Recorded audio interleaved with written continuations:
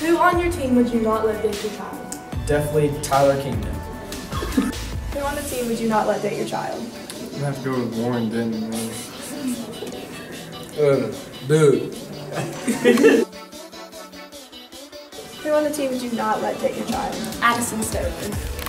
Who on the team would you not let date your son or daughter? I'd probably have to say Finley Tomlin. We all love her, I have to say her. Who on the team would you not let your child date? Sarah. Who on the team would you not let date your child? JC. Who on the team would you not let date your child? Uh, probably Aiden Donald. Who on the team would you not let date your child? Definitely Damani Cook. 100%. Who on the cheer team would you not let date your child? None of them.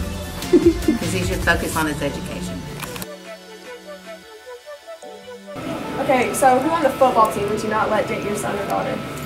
Warren, because he's just crazy. And then on the basketball team? And Yarn, because he's goofy all the time. Alright, who on the team would you not let date your son or daughter? Jada. All Oliver Tony Violet Adewale. Who on the team would you not let date your daughter? Colin Miller. Who on the cheer team would you not let date your son? My children will not be dating ever, so it doesn't matter. Oh. Who on the team do you not want dating your son or daughter? Finley. Who on the team would you not let date your child? Jonathan and Leland. Who on the team would you not let date your son or daughter? On Which team?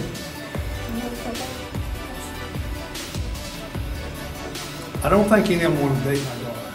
I mean, my son. I mean, you never know. Start over. Not let date your son or daughter? Rigsby.